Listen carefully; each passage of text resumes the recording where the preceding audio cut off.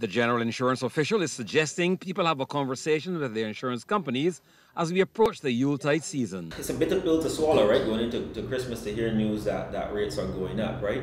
Um, you know, my, my suggestion would be to talk to your insurance company, uh, get to the conversation early uh, about the level of increase that that you might see next year, and try to uh, work with them to see you know what kind of payment plan we can get, right? Whether we can give three months, six months, nine months to extend the payment, um, because you know in this region with global warming, uh, the impact of, of, of, hurricanes, I mean, we really don't advise people to be to be uninsured on the property, right? So our, our, our best advice might be to you know make sure and get early to your to your insurance company and work out payment plans.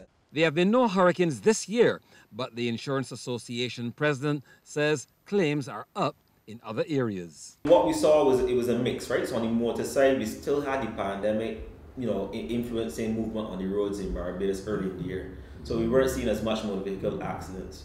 As soon as the the, um, uh, the pandemic restrictions were released and people back on the road, motor vehicle accidents went right back up to pre pre pandemic levels.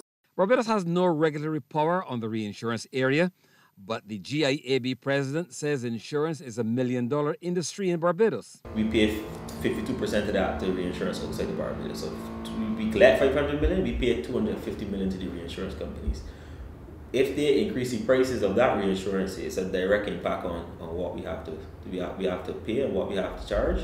And unfortunately, we get more pressure. On a positive note, Mr. Graham has disclosed that Barbadians are heeding the call to have their properties insured. Trevor Thorpe, CBC News.